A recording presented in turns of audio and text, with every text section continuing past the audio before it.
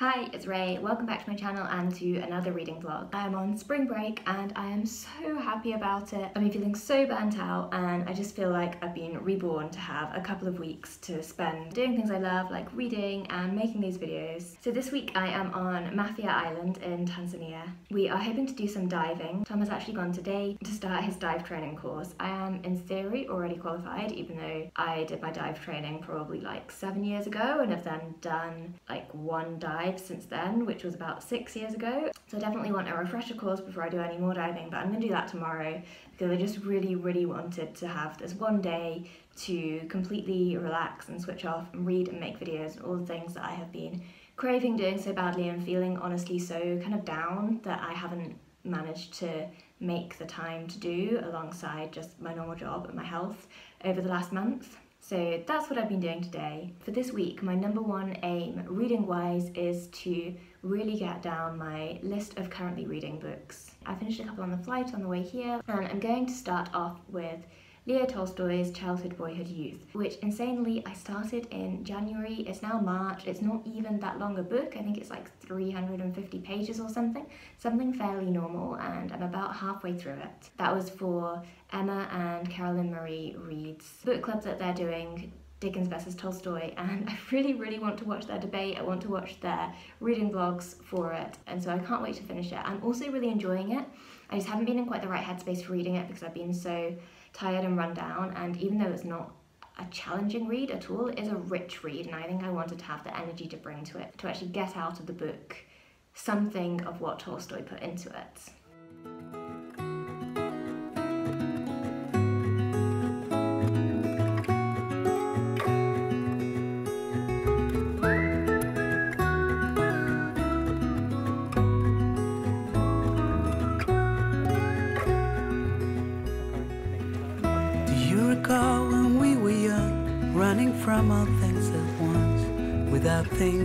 Twice.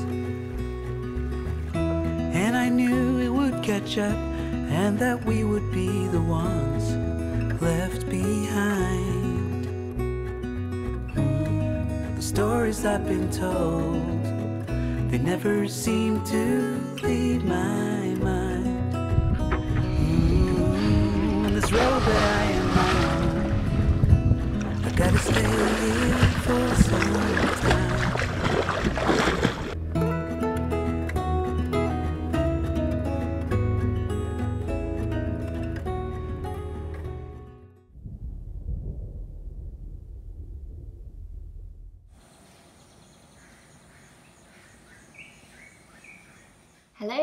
Good afternoon. It is Wednesday and I've just spent today editing a YouTube video, my February wrap-up video, which I really want to get out before the end of March. And I've kind of reached a point with it now where I need the internet in order to finish it. Um, and there's not any internet available anywhere right now. So I thought now would be a perfect time to sit down and give a quick update. Tom has gone diving today. Yesterday we both went diving. Something that I've been reflecting on that I wanted to share, just in case you needed to hear it, because I think I could do with hearing this more often. So yesterday I went diving. I've done diving before, but not very much, and I've always found it really cool. But what had always happened, but I always forgot afterwards had happened and is that as the pressure changes I get really excruciating pain in my ears and I struggle to equalize as it's called to make the pain go away. And so yesterday I went on what's called a double dive. So we went in the boat, did a dive in one place and then moved like to another location to do a dive in another place. And the first dive that I did, like, it was cool to be under the water, but I kind of spent a lot of the dive looking forward to coming back up to the surface where I'd feel safe again. Um, and then when it came to doing the second dive, I felt like sick and shaky and my ears still hurt. And I ended up just saying, no, I'm not gonna do it. I'm just gonna stay on the boat. And I think that is so often for our generation in particular, this sort of mantra of like, you only regret the things that you don't do, you never regret the things that you do do. But I kind of wanted to challenge that a bit because it was absolutely the highlight of my day, just lying on this boat in the sunshine by myself. I'd taken nothing to do, and so for about an hour, all I had to do was to just sit and look at the scenery, lie down, doze a little bit, feel the sunshine on my skin. And it was honestly a much more enjoyable experience for me than the dive, which is stereotypically the cooler thing to be doing with your day. And so it's just reminded me that, like, yeah, sure, it's worth giving things a try, but I find I very often beat myself up about not doing enough. And if you needed to hear it, sometimes turning things down is the right choice for you, and you can have just as much fun doing something quieter, calmer, that makes you happy, even if that's not what you feel like you're supposed to be doing in order to be leading your best life, whatever that means. Anyway, that was kind of a bit of an aside from the reading, but just something that I was reflecting on. Today, like I said, I've had a chill day. I've been spending about an hour writing my diary in the mornings, which has just been absolutely heaven. It brings me so much joy. And then I've also been reading, of course. Today, I've actually been working on finishing Getting Things Done by David Allen, which is a really interesting reread for me. So this is obviously, as you can tell from the hideous cover, a self-help book about getting things done. And I first read this maybe about five years ago when I just felt completely and utterly overwhelmed by teaching. I felt like I had a million things to do, I couldn't do them. It was affecting my health, and I think I saw this book recommended somewhere, and I remember it just really resonated with me. On Goodreads, I actually gave it five stars. And the basic concept is that in order to be able to be happy with what you're doing and not doing in life, you need to be aware of all of your different tasks that you feel like you should or ought to be doing and have them all listed down in a place that you check back in with regularly. That's pretty much the whole concept of the book. And on rereading it, I'm finding it so interesting because it's just so bad. Like, I think now that I've had a few more years of watching YouTube videos about productivity and that kind of thing, a lot of the ideas in here don't feel new or novel anymore, but mostly just the writing style is so unbelievably waffly that it's quite hard to work out most of the time what David Allen is actually getting at and what his main message actually is. I sort of thought this was going to be a, a kind of comfort read to go back to.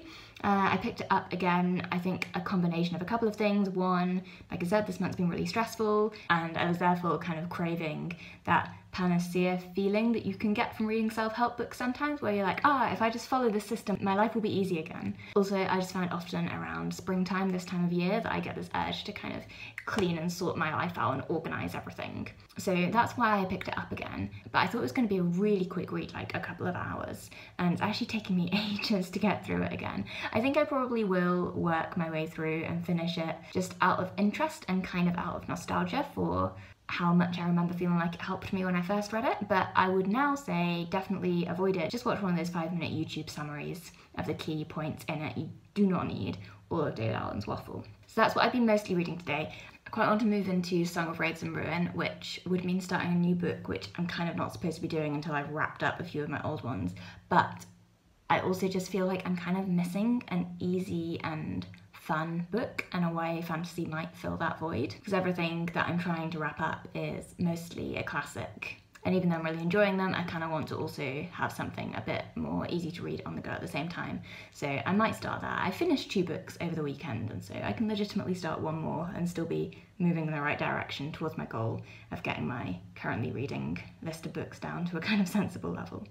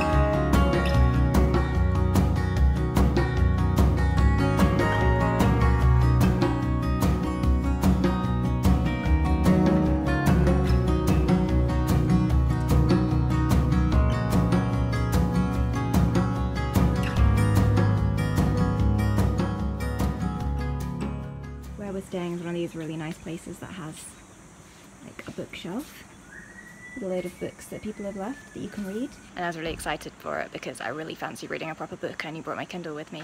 Um, but then, unfortunately, I've looked at the options available. I'll show you. Pretty much all in German or French or just not even vaguely the kind of book that I would be interested in reading.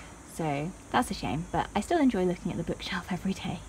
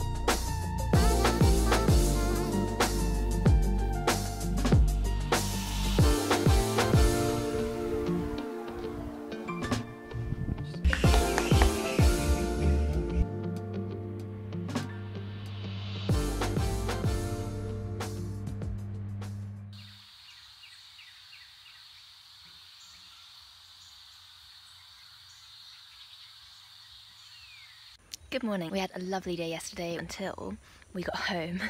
I have no footage of this because I was definitely far too distressed. We got home and um, discovered that earlier on in the day when Tom tried to take a shower and the water wasn't working, he then had not actually turned the taps off which is easy done because there was no water coming out. And while we were out, they had turned themselves back on and had totally flooded the room. All my like diaries and notebooks that I brought with me got soaked, unluckily. But luckily, the one that was written in fountain pen that had my most actual like personal diary writing stuff in it was on top and has been like basically completely unaffected. And then the other two that got really soaked didn't actually have very much writing in them or the writing was in biro and so it hasn't even though they like look ugly and water damaged it hasn't affected the writing too much. That was kind of like simultaneously lucky and unlucky. And then another simultaneously lucky and unlucky is that my laptop was on top of a pile of clothes and the clothes were absolutely sodden, like completely drenched. But my laptop, miraculously, just the outer casing of it was like a bit damp, but it seems completely and utterly unaffected. It's fine, it wasn't wet in the inside at all, thank the Lord. Uh, but my laptop charger was completely and utterly soaked. Um, I just tried it this morning, it doesn't work at all. So we're going to have to try and work out how to get a replacement for that, which will be a bit of a faff because we can't get one in Congo. Uh, we're probably more likely to get one here in Tanzania than we are in Congo. But um, yeah, that means my laptop now obviously no longer works, which I'm quite disproportionately sad about. It's made me realise how addicted to my laptop I am because I'm suddenly just like, but everything I wanted to do involves my laptop and my whole life is on there. Um, so I'm so grateful that the laptop itself isn't actually damaged, but I think it's going to be a bit of a hassle trying to get a replacement charger for it. So yeah, anyway, that was yesterday. Um, on the reading front, yesterday I started Song of Wraiths and Ruin by Roseanne Brown. Um, I'm not very far through it because, like I said, I had a pretty busy day yesterday, but I have started it and my initial impressions from the first few pages is just like so, so good. I'm so excited for this book. Um, it's just the writing style already completely gripped me. It's been a long time since I read a YA fantasy or even just fantasy novel of any time. It's not a genre that I have huge familiarity with, even though some of my favourite novels fall into the fantasy genre. Like I love the Windsinger trilogy, I love Philip Pullman's books. But it just like it starts off with a storyteller calling everybody in to listen to the stories. Um, we have two characters, Malik and Karina. Um, Malik is a refugee, and Karina is the princess of kind of like the the capital city of the land that this novel is set in. Um, both characters just seem super interesting already. So like Malik suffers from these frequent crippling panic attacks and Karina suffers from frequent crippling migraines, which um, was one of the reasons that I picked the novel up because obviously I also suffer from migraines and I thought that would be interesting to see represented in literature. But yeah, so far just like it seems really well written, really beautiful, but also really gripping, loads of cliffhangers. I think I've kind of needed this in my reading for a little while because I've been in not quite a reading slump. Like I've still been reading stuff, but I've been really busy and I guess I haven't mm, forced time for reading within that busyness. And I think one of the reasons for that is that even though I've been enjoying the stuff I've been reading, there's been nothing to really draw me back into it because it's all been kind of classic literature, which is beautifully written and which is nice to be in while you're in it, but when you're out of it, you're not really wondering what's happening next. So that was really nice to start, and I'm excited to read some more of that today because we're just going to have a quiet day at the lodge today, sorting out a load of admin stuff um, on my phone rather than my laptop because I can't use it. Um, and yeah, hopefully I'll be able to get a bit more reading done today as well.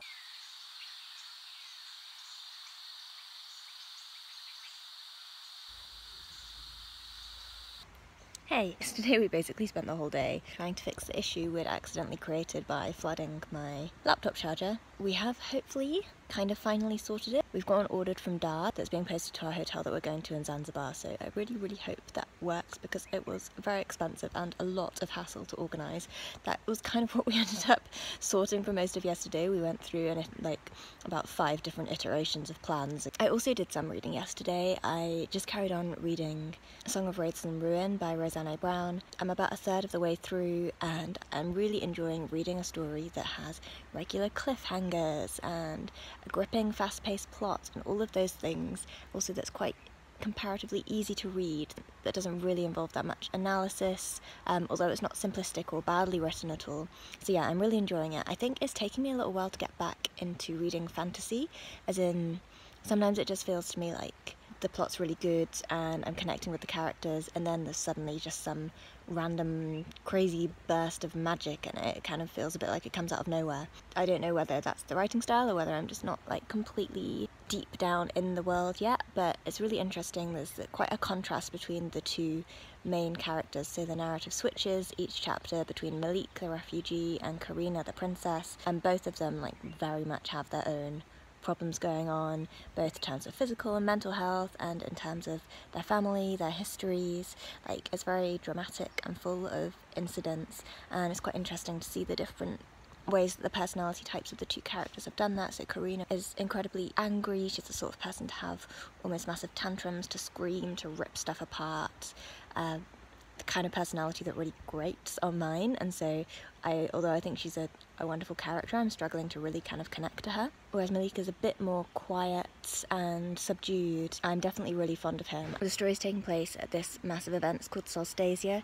It's like a huge festival that happens only once every 50 years. It's this extremely significant kind of once in a lifetime event that the characters are all wrapped up in in their own different ways uh, there's kind of like a variety of plot paths unfolding, and you're not quite sure what's going to happen at any given point. So, yeah, I'm looking forward to reading some more of that today. Today is a travelling day, but it also feels like quite a nice bonus day at the lodge because we're not travelling until this afternoon. So, I think for this morning, we're just maybe going to do a bit of reading, need to pack, um, and that's pretty much it. It's in a way quite nice not having my laptop because it means that 50% of the things that I would normally be doing have just been taken away from me as an option, so mostly just reading is left, which is nice.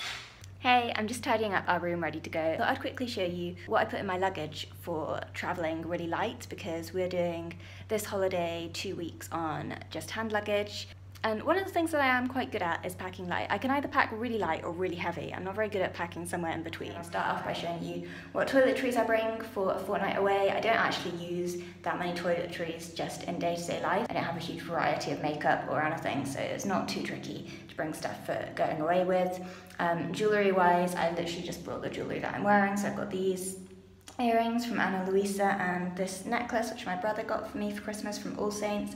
I'm just wearing those if I'm wearing jewellery at all. I'm just wearing these. I didn't bring anything else to change into. They're quite a nice level of looking fairly fancy if you wear them for an evening but also not being so over the top that you can't wear them as your day-to-day -day jewellery. Then I have this tin which has shampoo, conditioner and missing soap. These are really good, nice, like hard, solid, eco-friendly options. Um, and then in terms of liquids, I have face moisturizer, deodorant, sun cream, I have my foundation, I have just a makeup remover is the only form of kind of face wash I've got, so I just take my makeup off at night and then just wash my face with water in the morning. And then I have a little tube of toothpaste, Tom also has one.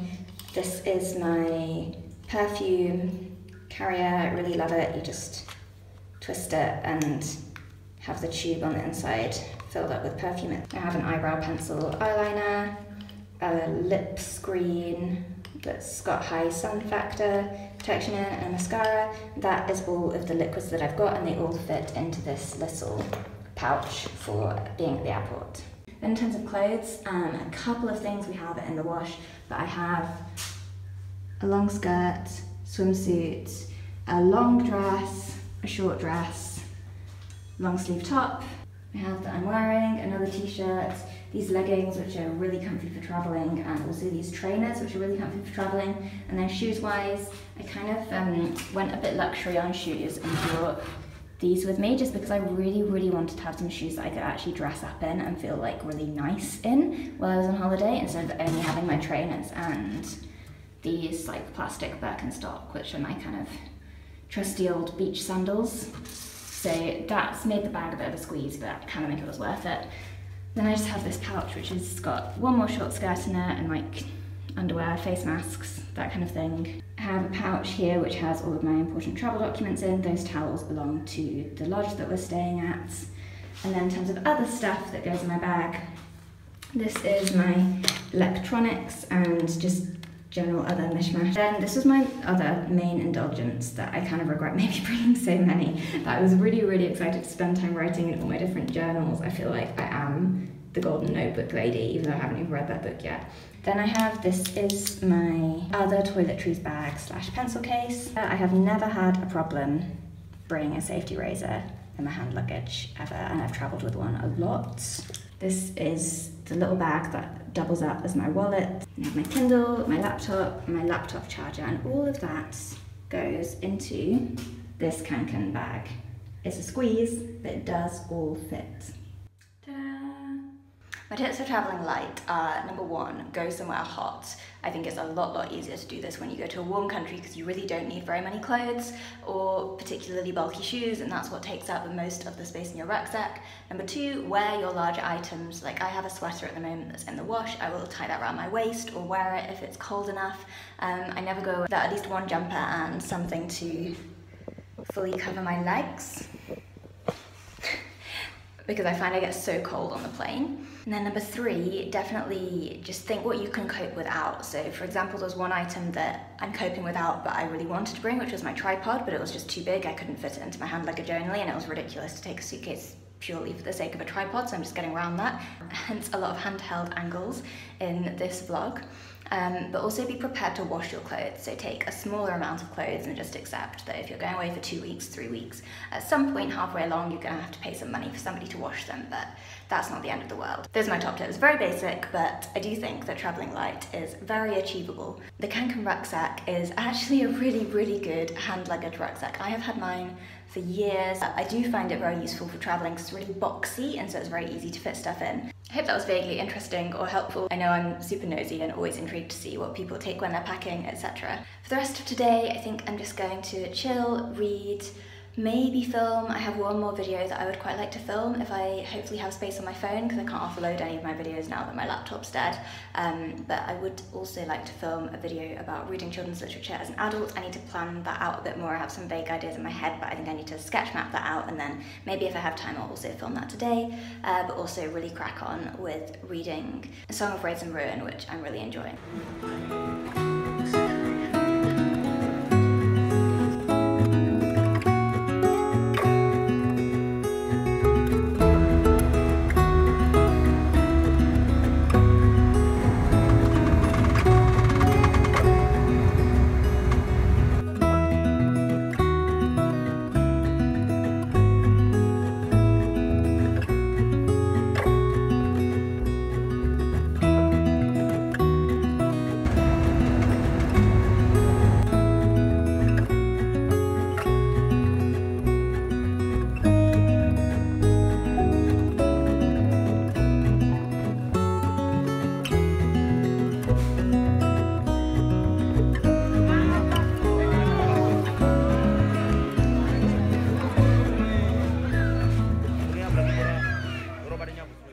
Good evening. I'm going to round off this week's vlog here. My reading update is that I have finished Song of Wraiths and Ruin by Roseanne Brown.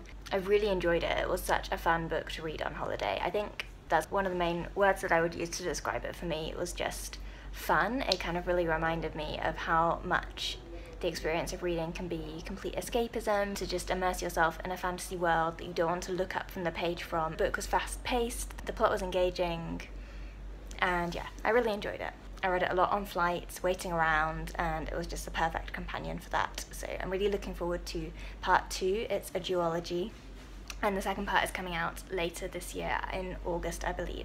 That will be really fun to read, and I think it will work really well as a duology. I feel like it's one of those books where if it had been made a trilogy, it might end up feeling like it dragged, but it actually ended in a really nice place like completely prepared for there to be another novel without this first novel feeling totally incomplete, like it was just half of the story. So yeah, great debut author and I'm looking forward to reading her next book. Okay, I'm gonna round off there for this vlog. Thank you so very much for watching. I hope that you've enjoyed and I will see you in my next video. Good night.